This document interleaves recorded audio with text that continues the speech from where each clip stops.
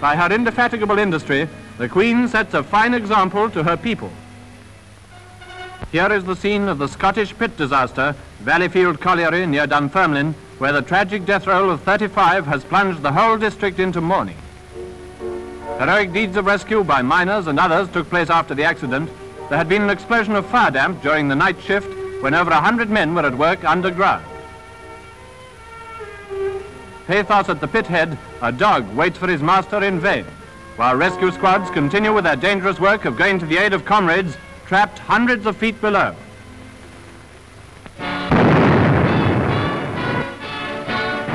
From us.